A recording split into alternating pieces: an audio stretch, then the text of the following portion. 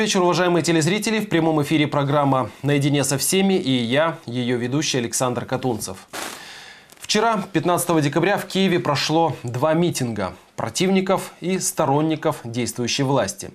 Так называемый Евромайдан на площади независимости и анти-Евромайдан на Европейской площади соответственно. Несмотря на территориальную близость двух мероприятий, удалось избежать конфликтов и открытого противостояния.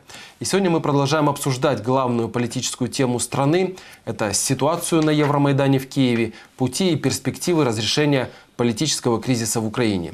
Сегодня в гостях у нас в студии председатель Одесской областной ассоциации работодателей Юга Украины Юрий Борщенко и член политсовета Одесской городской организации политической партии «Удар» Виталия Кличко Виталий Свечинский.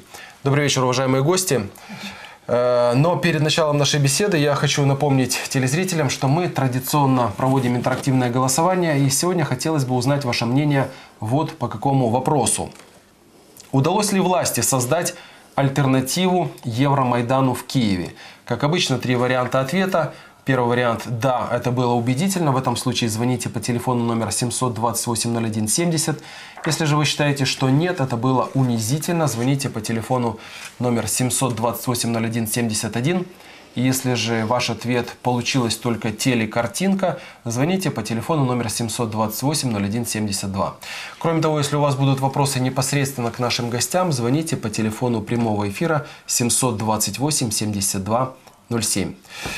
Итак, э, уважаемые гости, еще раз я рад приветствовать вас в нашей студии. И хотелось бы начать наш разговор с информацией о том, как прошли эти мероприятия, о которых я говорил чуть выше, э, в Киеве. И что сейчас происходит на Евромайдане. Насколько я знаю, Виталий, вы вчера вернулись из Киева.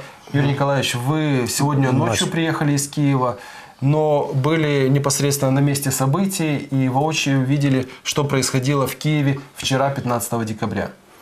Ну, э, начну, пожалуй. Ну, первое, что хотелось сказать, что действительно на Майдане э, на настоящем Майдане, так назовем, всегда царит дружелюбная атмосфера, там всегда люди рады каждому приехавшему, каждому э, человеку с любого конца Украины или мира, которые присоединяются к нашим желаниям. И знаете, вы уже, если раньше это был, было желание э, евроинтегрироваться, да, или подписать ассоциацию с Европой, то сегодня это желание перемен, да, желание жить лучше, и уже сегодня э, это новый вектор, так сказать, требований Майдана то, к сожалению, конечно же, на антимайдане, на Европейской площади, все, что насильно, оно всегда не приживается. Все, что насильно, оно всегда начинает разрушаться и морально разлагаться. И буквально там через несколько часов, да, люди уже э, абсолютно не понимали, каков ключ, зачем они стоят, им хотелось, наоборот, приобщиться к тем согражданам, да, которые стоят здесь уже много недель, да, у которых есть цели, идеи, э, и поэтому, ну, мы видели такую такую миграцию, э, обхождение через другие улицы и заход на Майдан, общение.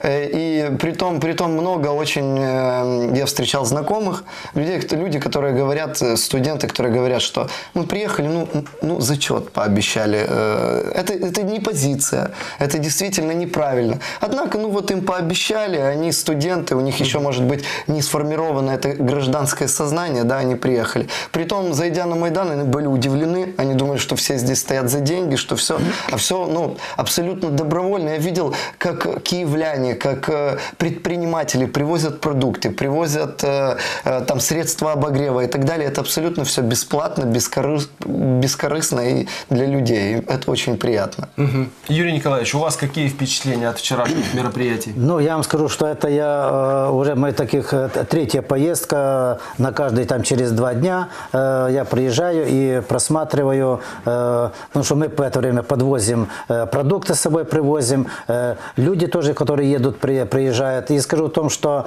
на нашем, где собираются наши, как говорится, Майдан маленький возле Дюка, там идет пожертвование. И вот это именно пожертвования, которые собираются, они передаются потом на Майдан. Это и вещи, это и продукты питания. И скажу о том, что вот перед вчерашним, как говорится, вече, которое было там, э, выехал э, грузовой э, микроавтобус, который повез, раньше повез питание, повез теплые да? вещи из Одессы, да. И потом четыре автобуса выехало ра- рано утречком для того, чтобы приехать на, на Майдан, к на- в нашу палатку, где стоит наша одна палатка, потом там вторая палатка стоит. И я скажу в том, что э, даже вот зайдя туда, э, на каждом углу, на каждом э, где-то на Крещатике, там возле метро, везде стоят э, любители-музыканты. Э, там стоит возле э, город администрации пианино, которое я вот тоже снял на видео.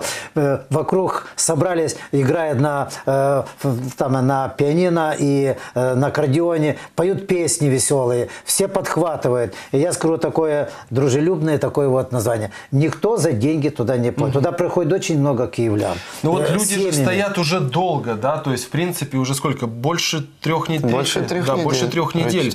Э, Не устали? То есть не чувствуется такого, что люди сидят? я вам скажу то, что приезжают на замену. Вот мы привезли тоже на замену, приехали людей, больше половины осталось. Остальным, которым нужно э, приехать домой, там семьи, есть некоторые работы, потому что многие взяли за свой счет, э, за свой счет на работе взяли. Поэтому приехали замена. И вот это вот, которые там э, три или четыре, даже сотни стоят вот одесситов наших, они все время э, меняются по, поочередно. Поэтому рядом кухня стоит. Я вам скажу такой э, случай, я скажу, что э, питание э, на высшем уровне. Мне пришлось попробовать там суп, на это на, к- такие котлы стоят, э, варятся с этим, с дымом. Я скажу, любой, выходят э, э, девчонки там э, в халатиках, э, э, таких, э, как, ну, как сам, э, работники э, общепита, э, пекут пирожки в город ми- администрации, выносят на корзинах и каждого угощает. Говорят, вот э, бутерброды выносят, чай э, э, выносят, угощают. Поэтому любой гражданин э, Киева, который вот пенсионеры, который вот немножко тяжело живется, может одет не, не по, по зимнему, только заходят сразу же волонтеры, которые находятся. Там очень много молодых волонтеров. Заводы, где можно переодеться, где можно одеть курточку, где можно носки теплые. Очень много привозят носков теплых.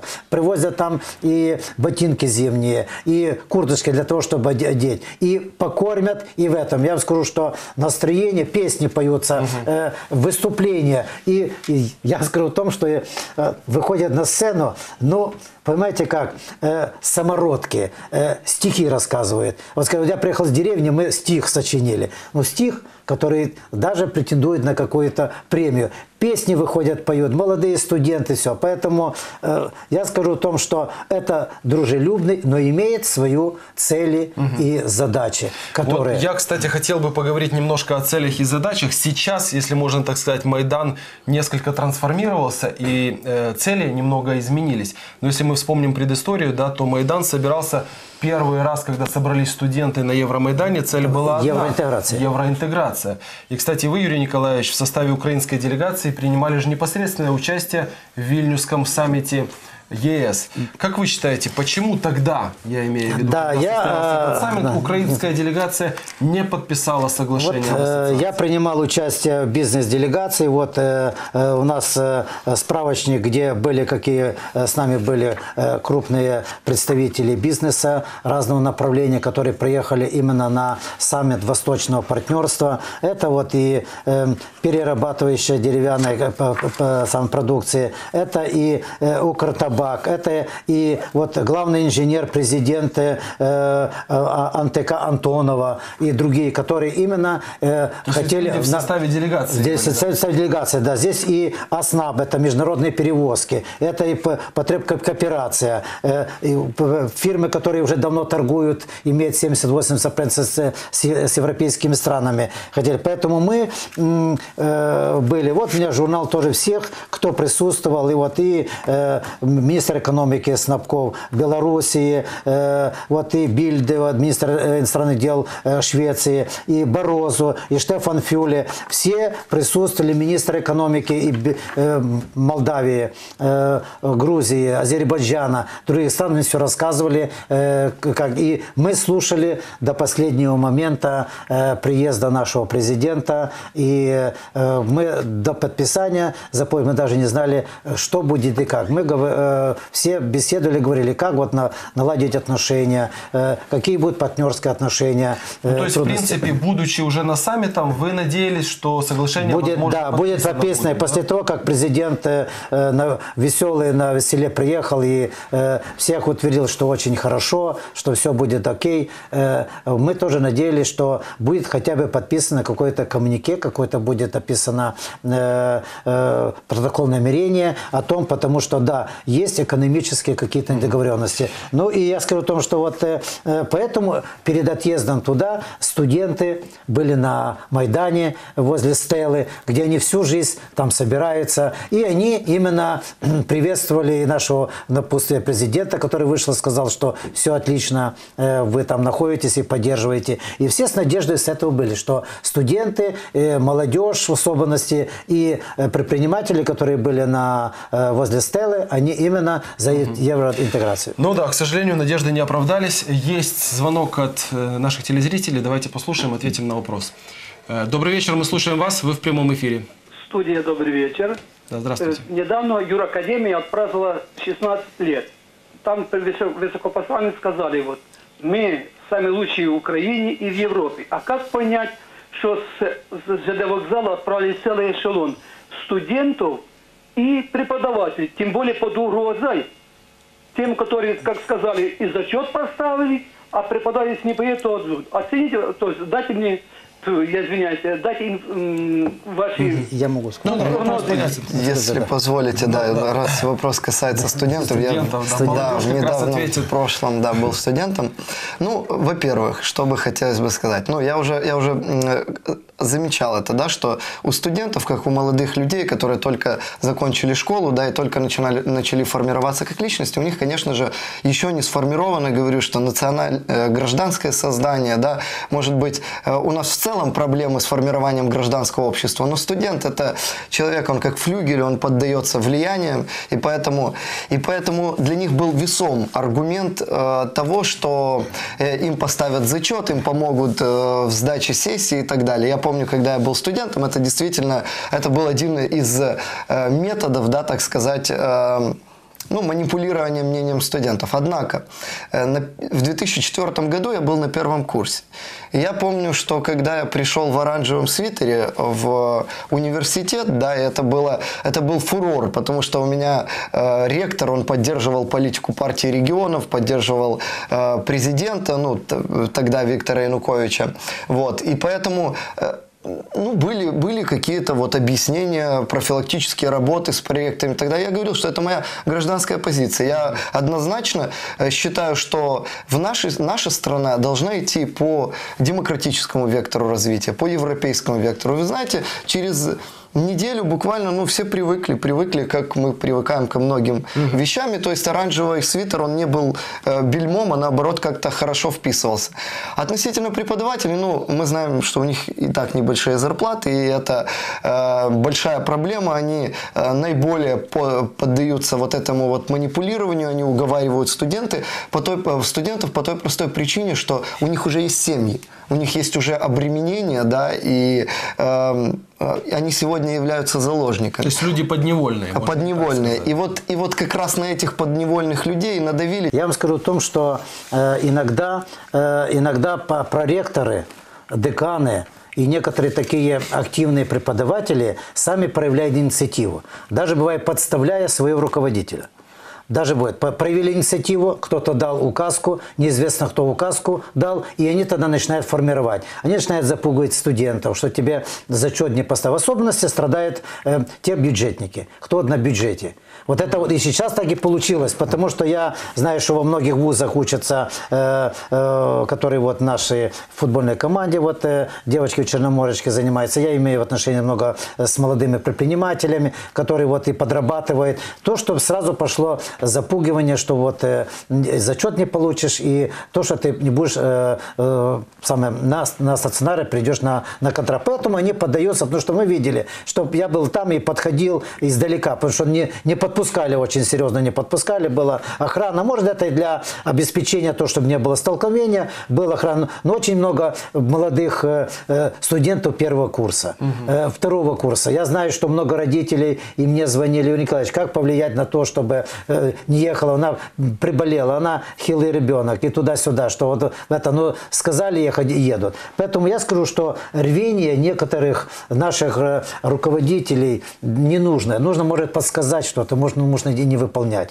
Поэтому я хочу сказать, что э, выступления даже подтолкнули к этому выступления наших общественных деятелей. Угу. Я вот очень э, э, хорошо знаю некоторых руководителей афганской организации, вот и, и ветеранских организаций. И меня очень удивляет, и, зная, фамилии не буду называть, вот и председатели ветеранских городской организации, и других, я сам ветеран, но меня никто не спросил, почему выступление и просят э, обращения, просят президента принять жесткие меры по отношению к, э, к Майдану угу. законами. Но нарушается, там же нарушений нет. Во-первых, это место громады. Громада имеет право собраться. На... Самое главное, кто имеет право приказать и снять статью Конституции на собрание э, мирное, собрание. мирное и выразить свое мнение. Поэтому я скажу о том, что на Майдане сейчас в данный момент, по сравнению с тем, что был анти, э, антимайдан. Во-первых, я многих спрашивал, мы что? Мы за Евросоюз. И здесь за Евросоюз как будто стоят. И здесь они. Поэтому президент тоже политику выбрал, и сразу мы поддерживаем, и правильно сделали президент. Так почему тогда делается э, э, не разъяснение граждан? Mm-hmm. Не нужно было разъяснить, ввести, добиться чего-то. Но когда мы были на саммите, спросили, а где же ваши расчеты? Вы попросили столько много денег, но деньги будут даваться, средства будут даваться инвестиционные на поднятие банковской системы, на развитие малого и среднего предпринимательства, который даст толчок. Но дается 10 лет приведения Украины к стандартам европейским. Это коррупцию нужно убрать. Сильнейшая коррупция, где деньги. Я скажу одно выражение одного политика, который там выступил, сказал, что Украина это уникальная страна. Можно украсть э, годовой бюджет, и никто не заметит. Да потому что граждане и не видят этого бюджета. Сердечная коррупция через тендеры, через другие. Поэтому вот эти все связи нужно пойти. Я скажу о том, что президента очень серьезно подставляет группы, влияющие на администрацию и на, и на президента. Поэтому я просил бы наших общественников очень внимательно. Никто там за деньги не стоит. Ну, да, Никто тебе не подтял. Когда там стоят люди за свободу, за свободу высказываться, за свободное предпринимательство, без коррупции коррупции, без наезда. Студенты обязаны э, заниматься и будут отдаваться стране, но их нужно сначала устроить, дать рабочие места. Но этого уже нету, поэтому нужно создать условия, нужно поменять общую политику. Поэтому сейчас ставится вопрос полностью поменять отношение государства к своим гражданам. Это да. Вы знаете, я хотел бы немножко поговорить о Одесском Евромайдане, потому что те события, которые происходят в Киеве, на самом деле многие наши телезрители могут наблюдать и на центральных каналах, некоторые люди сами непосредственно участвуют в этих событиях, есть возможность поехать в Киев. Насколько я знаю, многие одесситы тоже поддержали участников Евромайдана, отправились э, на Майдан Незалежности в Киев.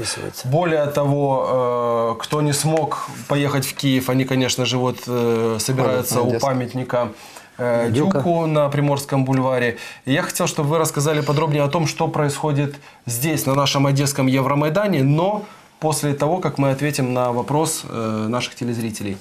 Добрый вечер, мы слушаем вас, вы в прямом эфире. Алло, мы слушаем Алло. вас. Да. Э, я хочу вот вам сказать в защиту студентов. Совершенно у них не э, определившаяся позиция, как вы говорите, что они молодые и не знают, что и к чему. Их заставляют. Э, например, из высшей мореходки заставили ехать по причине того, что их выселят из общежития. Да.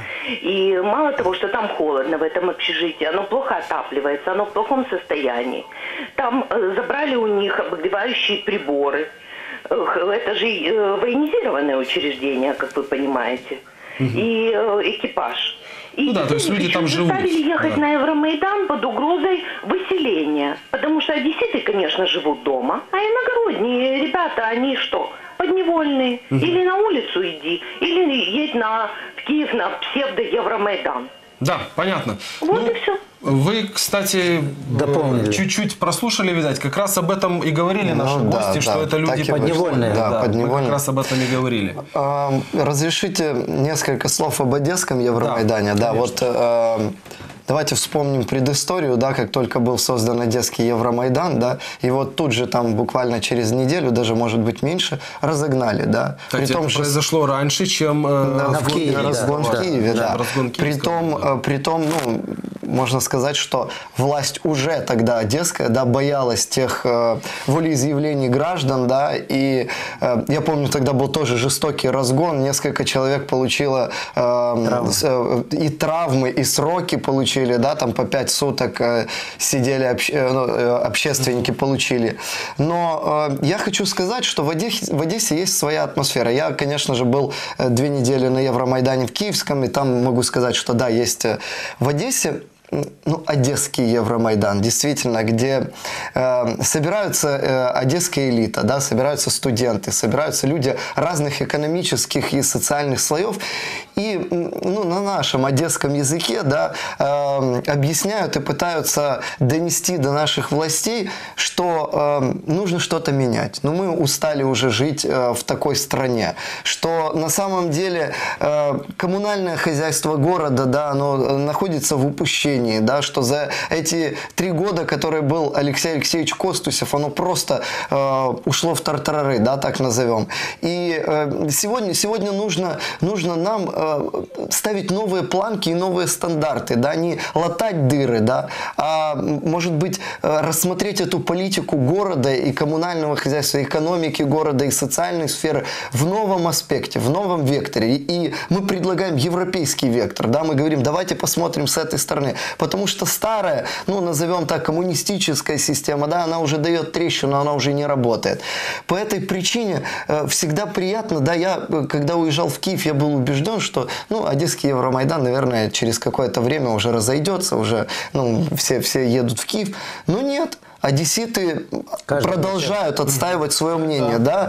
Эм, Одесситы э, упорно, упорно говорят о том, что нет, мы будем стоять, и это приятно. Я сегодня вот буквально перед эфиром выступал на Евромайдане, и царит все та же э, приятная атмосфера, одесская, с шутками, с юмором. То есть, ну, мы э, сегодня записан гимн Евромайдана. Я думал, что э, я видел, что на телеканале э, Круг его э, транслировали.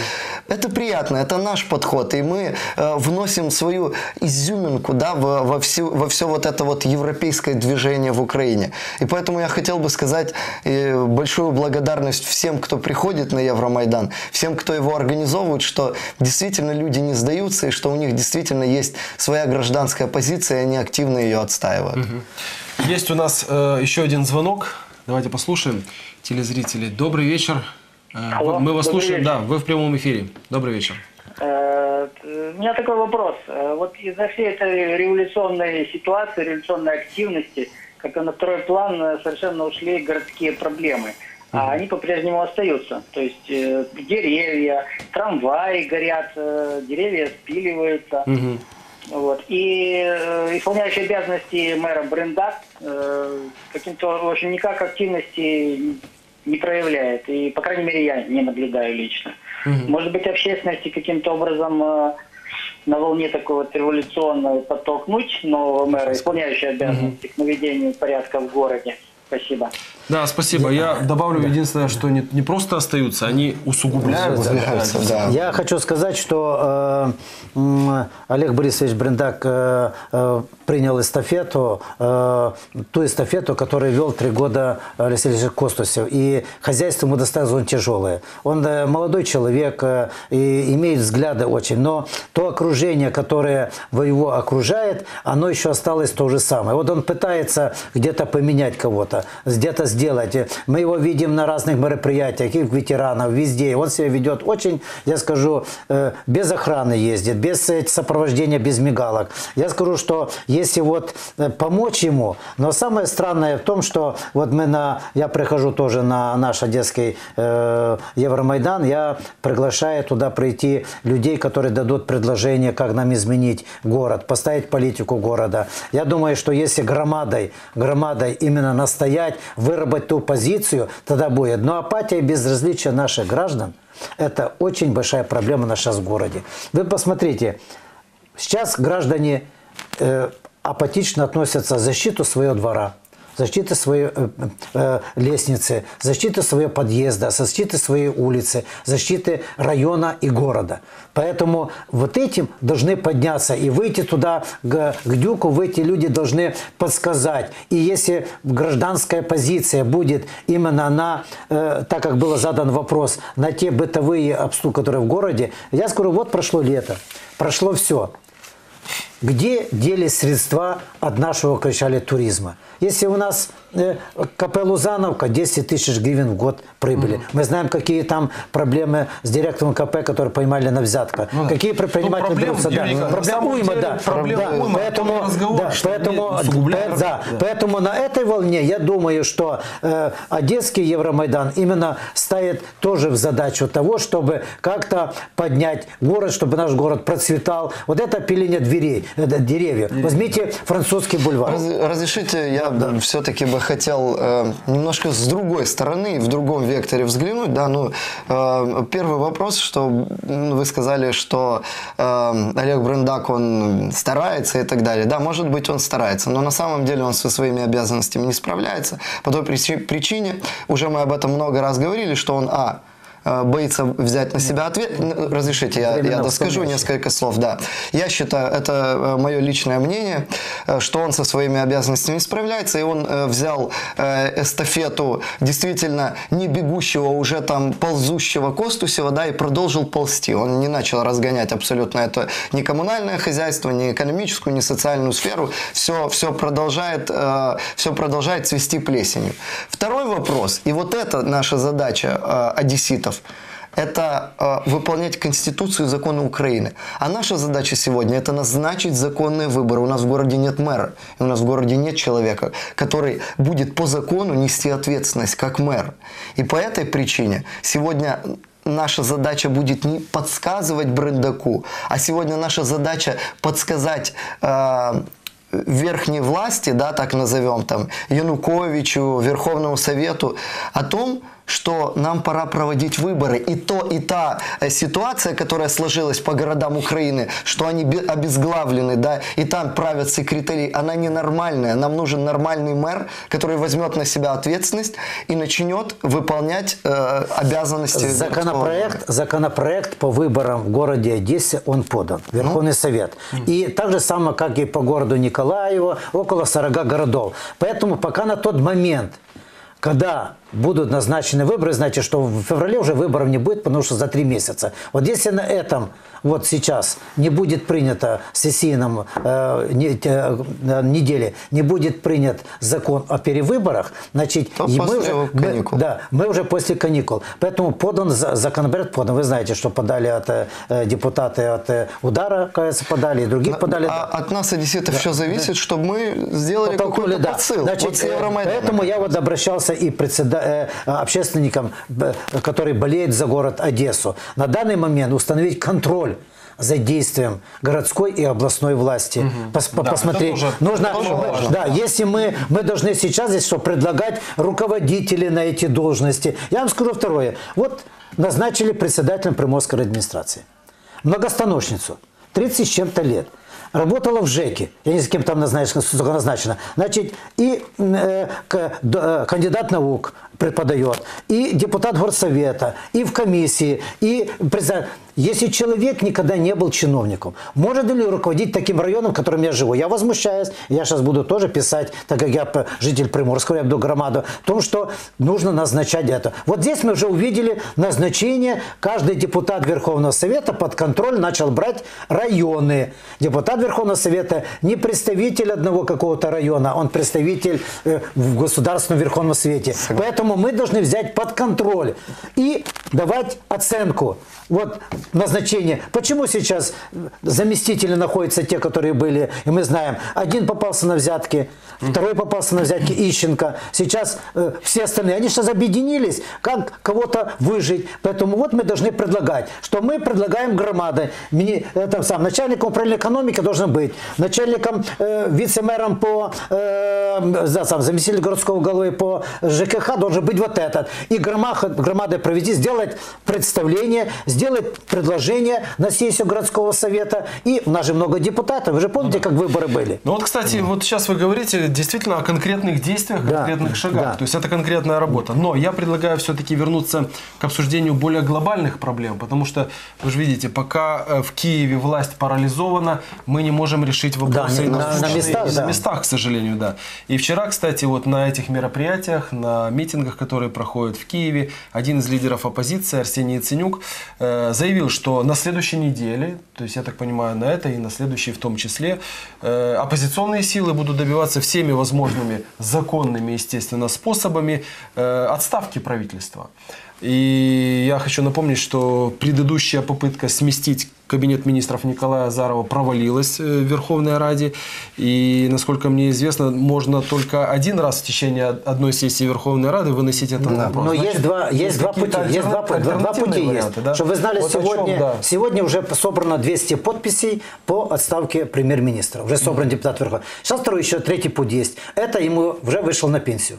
Значит, президент и должен своим указом продлить э, вот. Поэтому сейчас президент, если он будет поставить в том, что пере- перевыборы полностью все кабинет, назначить тот, кто будет представлять кабинет министров, согласовать все и вынести на Верховный Совет именно кабинет министров. Поэтому два пути уже есть. 200 подписей уже собрано и указ президента. Но я вам хочу сказать, что э, сейчас в данный момент э, под- попадает под э, увольнение э, министры, которые были указом президента э, в 2013 году назначены 12 марта о э, продвижении евроинтеграции. И потом было постановление Кабинета министров, вот э, я скажу, какое это было, э, с- э, м, так, 13 э, февраля 2013 года 73 ІР е, про затвердження плану перших заходів щодо інтеграції України е, до Євросоюзу. И назначены все министры, кто отвечал за все. Поэтому должны понести наказание, что они не провели ту э, должное, увели заблуждение граждан города э, самой Украины. Поэтому здесь вот мы должны добиться вот этого. В отставку правительство должно уйти, должно быть согласовано с Майданом, потому что Майдан дал мандат То есть э, трем лидерам, да. да, трем лидерам. Сейчас лидеры трое только по мандату э, э, вот самого Майдана. Сейчас они про там коалиционный совет создан один, второй, который коорди- координирует как молодежный, так и другие. Поэтому сейчас должно пойти. И президент должен представить человека, который на, на должность премьер-министра, он должен сформировать и выставить его на Верховный Совет. И тогда депутаты Верховного Совета будут говорить, кто достойный. Э, Там должны прийти профессионалы.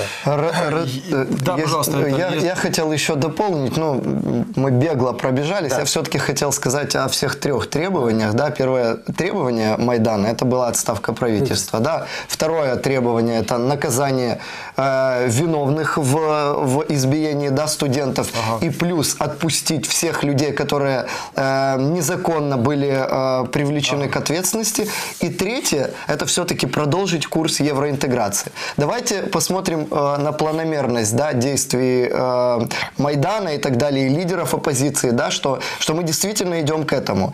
Э, власть начала искать среди се- себя, можно так сказать, внутри себя, кто же виновный. Да? Уже там называются разные кандидатуры, и Попов, и Клюев. Ну, это мы потом посмотрим, что, что из этого в итоге выйдет. Сегодня, да, сегодня уже следующий шаг к тому, чтобы э, второй раз вынести вопрос о снятии правительства, но сегодня уже другая политическая ситуация. в стране. За эти две недели, да, Да, ситуация политическая изменилась, причем ситуация ситуация изменилась и внутри, э, политика внутри партии регионов и доверие к главе государства сегодня изменились. Поэтому это актуально и абсолютно правильно ставить этот вопрос. И также актуально и правильно после отстави- отставки правительства будет ставить вопрос о возобновлении взаим- взаимоотношений с Евросоюзом и подписании ассоциации. Поэтому я перевыборы считаю, что та горячка, да, и то, что говорят, что Евромайдан не выполняет своих функций, функции выполняются, притом планомерно. Да, может быть, не так быстро, но не все революции, я напомню, делались быстро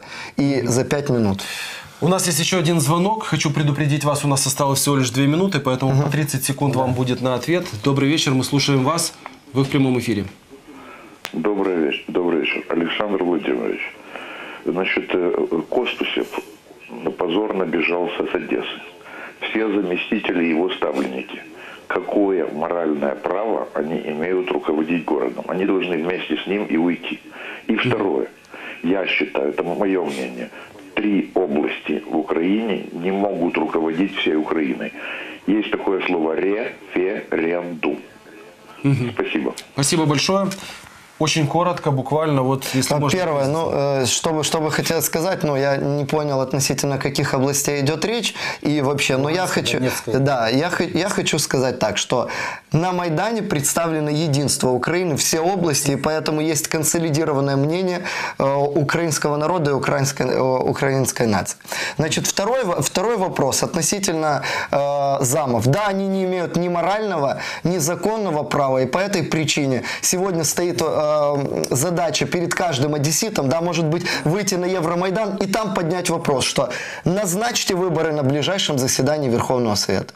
Вот, ну, Что ж, И- и- понятно. да, и я хотел, Николаевич, да, да, два слова, два не слова. более. Я скажу о том, мы- что в Одессе, прошу, в Одессе не поднимать вопрос о федерализации. Вот эти митинги, которые прошли, это антиконституционно. Это, во-первых, одесситы это не потерпят, потому что мы стоим рядом. И поэтому э, раскола не будет. И граждане должны поднять, как я говорил, общественность о том, что должны уйти все те заместители, которые были э, возле Костусева. И предложить Что ж, людей. Спасибо. Спасибо вам за активное участие в программе. Мне остается подвести только лишь э, итоги нашего интерактивного голосования. Хочу напомнить, сегодня мы спрашивали у вас, уважаемые телезрители, как вы считаете, удалось ли власти создать альтернативу Евромайдану в Киеве? Как обычно, было три варианта ответа. 20% телезрителей считают, что да, это было убедительно. 65%, более половины телезрителей считают нет, это было унизительно. И 15% считают, что из этого получилась хорошая телекартинка. Что ж, спасибо вам большое за активное участие в программе. Наша программа подошла к концу. Всего вам доброго, до свидания, до новых встреч.